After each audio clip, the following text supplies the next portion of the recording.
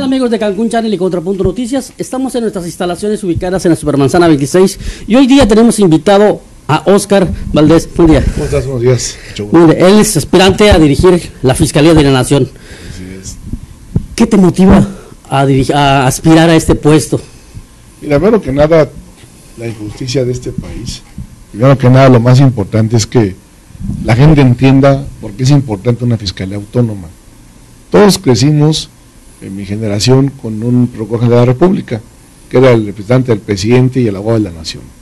Cuando mira esta figura al ciento constitucional, se vuelve fiscal, y entonces el fiscal se vuelve defensor del pueblo, ya no es la misma figura que conocíamos nosotros. Y lo más importante es que se castiguen las conductas penales, que en México no pasa nada. Caso de Brecht, pues, estaba el Perú el presidente en la cárcel, en Brasil está Lula, en Argentina va a entrar Cristina Kirchner, en Guatemala está Ríos Montt, y en México no pasa absolutamente nada. Es un país donde no pasa nada. Usted ha recorrido México completamente, ¿no? Ya tiene eh, varios meses ya cada uno de los estados. Me falta nada más el estado de Guerrero, que es donde quiero culminar, porque es el más pesado de todos. Sin duda alguna. Es donde se han puesto las cosas muy candentes. Pero lo más delicado que he visto en todo el país ha sido que la gente está cansada y no se queja de la impunidad la gente se queja de la inseguridad, ni siquiera de la inseguridad, se queja de la, corrupción y de la impunidad, que eso es lo más grave. A veces que somos un país inseguro, la gente no se queja de eso.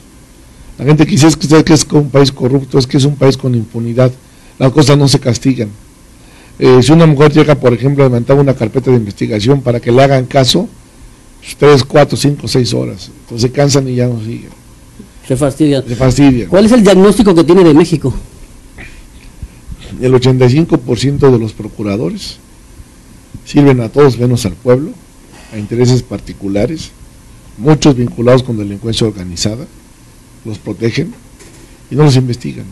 Y entonces es donde te preguntas por qué estamos tan mal, porque la autoridad en lugar de defender a los ciudadanos, pues defiende a los corruptos, a los narcotraficantes, y entonces ¿qué generas?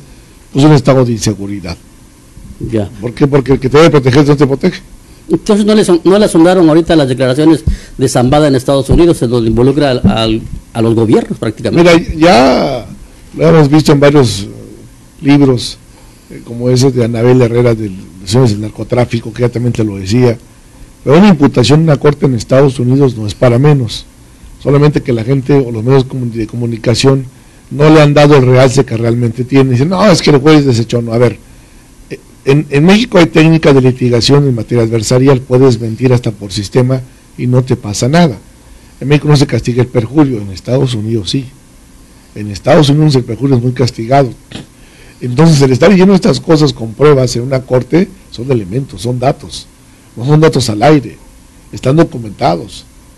Ya dijeron que a cuánta gente le han dado dinero. Te dicen que no, pues, aquí lo importante sería por qué la PGR no los investiga aquí. No te vas tan lejos del caso del procurador de Nayarit, que está metido en narcotráfico. Si no la agarra colado en Estados Unidos y lo meten en prisión, aquí no pasa nada. ¿Y el gobernador dónde está? Debe estar en prisión porque fue su procurador, ¿no? Claro. Y no pasa nada. ¿Nos faltan leyes más rígidas? No, yo creo que nos falta aplicar la ley, nos falta que la gente se involucre. Mira, el problema de este país es la indiferencia de las personas.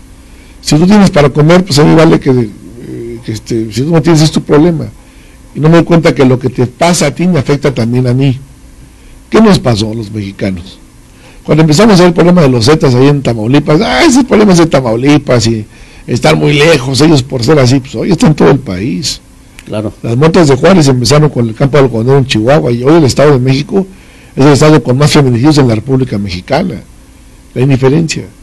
¿Qué es lo que tenemos que hacer ahora? No es indiferencia a la, a la política, sino exigirles. A ver, ya pedimos un cambio, ¿no? Si queremos un cambio real del alcalde, del diputado local, del gobernador, del presidente de la República, no dejarlos solos, porque el problema que pasó es que esa indiferencia a dónde nos llevó, y hoy estamos con un problema grave de inseguridad. Sí, lo estamos viviendo aquí en Cancún, aquí en Cancún ya se acercan 500 ejecutados, una cifra jamás vista en la historia de esos 48 años de vida de Cancún. Es un nivel alarmante. No, como no, más un sitio turístico, que es la Carta de Prestación de México, ¿no? Por supuesto. O sea, yo creo que ahí, es lo delicado. Mira, yo creo que aquí lo que tienen que hacer, ahora que viene aquí, esto es un proceso de la Fiscalía, los gobernadores tienen que sacar las manos de las fiscalías. Tienen que fiscales autónomos e independientes, no fiscales cuates carnales. Eso no funciona. Y aquí lo que han hecho los gobernadores es que meten a sus primos, tíos, compadres a una fiscalía. Pues ¿cuándo van a investigarlos? Es imposible. Hay que quitar de tajo ese, ese claro, problema. sin problemas. Hay que quitarlos ya. Y de esa manera, pues es como, es como vas a aplicar la ley. ¿Con qué se va a enfrentar usted para llegar a esa meta que se ha propuesto de ser el fiscal de la nación? Mira, primero que nada, una corrupción rampante. Yo espero que el presidente Andrés Manuel tenga la voluntad política para hacer un cambio real. Yo creo que la gente no quiere perdón, la gente quiere justicia. Yo creo que la gente quiere que regresen lo que se llevaron, que regresen el dinero. A mí de qué me una gente en prisión seis años, como el caso de Daniel, que no regresa un solo peso, ¿para qué lo quieres? Que regresen lo que se llevaron, ¿para qué sirve que Borges esté en prisión y se eche tres, cuatro años? No, que regrese lo que se llevó. Esa es la manera realmente de hacer un castigo real. Y eso es lo que quiero hacer, o sea, que se castiguen las conductas, que se investiguen las cosas y que regresen el dinero. Pues no, ¿para qué los, para qué los queremos encerrados?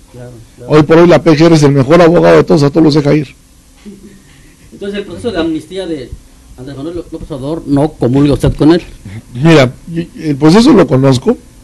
Eh, no hay una amnistía como tal para la gente que tenga unas sentencias que sean de delincuencia organizada, más que para la gente que ha estado involucrada en delitos de narcotráfico.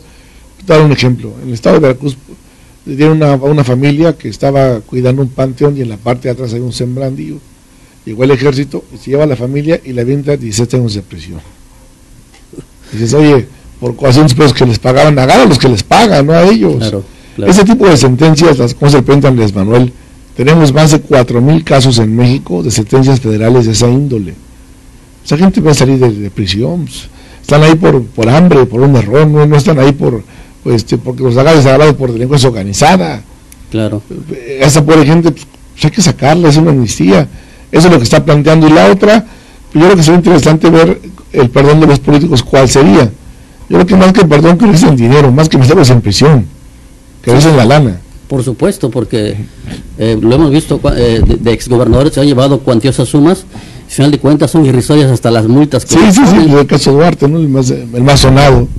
El caso, plan de trabajo en caso de llegar? Ya, mira, yo creo que eh, dicen que si haces lo mismo con lo mismo, los otros hacen lo mismo, ¿no? Claro, la misma receta. Yo quisiera ver los delegados eh, de, la Fiscalía y los subdelegados, abrirlos. ¿En qué sentido? Mira que en Danarro, aquí juntar a todos los sábados una asamblea magna y que entre ellos elijan en la ciudadanía a un agente para el delegado y otro para el subdelegado. El que quede en primer lugar es el delegado y el que quede en segundo el subdelegado que no tenga nada que ver conmigo, que no me conozcan si es posible. ¿Para qué? Para que esta gente que trabaje le entregue resultados a la población, no a mí. Y de esa manera yo no tenga ninguna ejercicio sobre ellos. ¿Para qué? Para que no me deban la posición a mí, sino a la ciudadanía. Quitar a mucha gente de la PGR del medio que está sobrando, liquidarlos y tener gente nueva, tener jóvenes capacitados. Que estén limpios, que transparentes, que cambien la justicia. Yo creo que el cambio todo se puede dar. Para, ello creo que hay que acabar eh, con la corrupción, que ese es el, el gran problema de México y de varios países de América Latina. Sí, sí. Mira, yo creo que la corrupción está en México en la cabeza, no en la raíz. Aquí hay que quitar la cabeza. ¿Por qué? Porque si el procurador es corrupto, todos son corruptos. Hoy tenemos un problema muy grave. El que es procurador lleva para dos años de encargado del despacho y la cédula que tiene no le da los días que marca la ley. Desde ahí estamos mal. Claro. Entonces yo creo que tenemos que tener gente que esté capacitada, gente que no busque trampolines políticos, que no digas que de procurador quiero ser el senador o no, a ver, espera, espérate. Tú te quedas como fiscal y ahí te quedas, punto. No tienes vida política. Y dejas una fiscalía bien para la gente que siga y tenga continuidad. Eso es lo que tenemos que hacer en México con esta fiscalía que tenemos ahorita. ¿Qué tenemos que hacer? Que sea que sea fiscal que migre la constitución para que pueda ser un fiscal independiente y autónomo que es el importante. Eso es lo que vale. es súper importante. Y el día primero es el compromiso Andrés Manuel. La ventaja es que ya le va a tocar a él ponerle fiscal, cosa que antes no se daba, va a ser, va a ser bronca de la hora.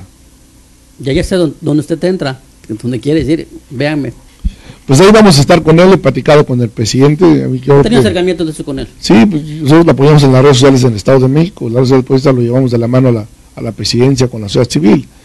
Pero cuando me han preguntado, digo, a ver, soy aliado, no empleado.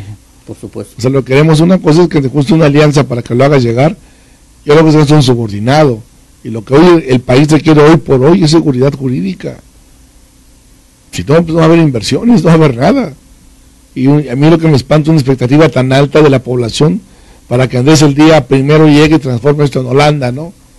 No va a ser así. Yo creo que mucha gente se va a llevar a un chasco porque ellos piensan que llegando a Andrés Manuel con un chasquido México va a cambiar. No, no, eso, eso es imposible, no, no. Por supuesto, pero mucha gente está con esa expectativa, ¿eh? créanme que. No, sí, sí está muy alta la expectativa, sí, eso sí. de este personaje porque incluso él es el primer presidente electo que ha hecho tantas cosas sin sentarse en la silla. O sea, los focos están puestos en él y no en Peña Nieto que está dejando en México un lastre.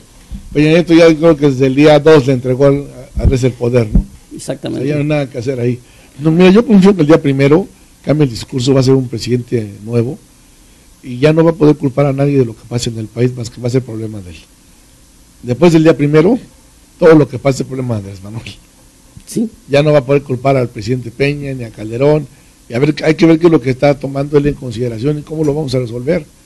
Yo creo que la fiscalía va a ser un tema muy interesante, que la gente participe, y se involucre y que haga la convocatoria, que esa es la idea, ¿no? Y se abra. ¿De qué, ¿De qué adolece la justicia en México? De aplicar la ley. La ley existe, solamente hay que ser, hay que aplicarla tal cual. No la aplican, no la aplican. Aquí en México tenemos la máxima de Juárez a los amigos justicia y gracia los amigos únicamente la ley. O sea, y pues estamos como estamos. Esa aseveración suya de que más del 85% de los procuradores o fiscales están inmiscuidos en el narcotráfico, yo creo que hizo temblar a varios. Pues mira, más bien me amenazaron varios, ¿no? Que, fue la diferencia.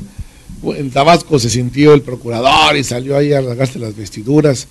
Cuando yo creo que si tú hablas con la población, el mejor baluarte es la población, dice cómo realmente estás y no estamos bien en el país en seguridad jurídica, ¿eh? para nada. Sí está complicado el tema. Sí, yo creo que los ciudadanos es el pulso que uno le toma. ¿Cómo estamos en México? Sí, yo creo que sí, ahí sí tienes la razón. La gente la gente sabia, si tú estás le pones Quintana Roo, ahí oye cómo está Cancún, me lo van a decir, ¿no? Inmediatamente. Y lo, que ha salido, la verdad es que es triste porque es un destino turístico, yo creo que Cancún es la joya de México, y pues ve que igual Acapulco, o sea, ¿qué, qué, qué está pasando, no? encuentran muertos, descabezados, cuando eso antes no se veía. No existía. Abogado, ¿algo más que nos quiera agregar? Pues mira, quiero agradecerte a ti a tu programa y lo más importante, que la gente no sea indiferente, que las redes sociales mantenga contacto con el Senado, con este debate, para que ellos realmente puedan ver qué es lo que se ofrece y qué es lo que no se ofrece. Y lo más importante, que vean la propuesta que se va a hacer por una fiscalía. ¿Por qué? Porque vamos a depender de una fiscalía por completo. ¿eh? Claro. Es la que nos va a ayudar. Y si alguna persona, un ciudadano desea saber más de usted, seguramente tiene redes sociales. En oscarvales.mx, José Oscar Valdés en Facebook, figura pública, son públicas. En Twitter, doctor José Oscar Valdés, no pasa nada, o sea, no necesito yo autorizarte, tú puedes andar libremente, ah, sin problemas. Doctor, muchas gracias. Te agradezco mucho, muchísimas gracias. Muchas gracias. Amigos de Cancún Channel Contrapunto Noticias, nosotros continuamos con la programación.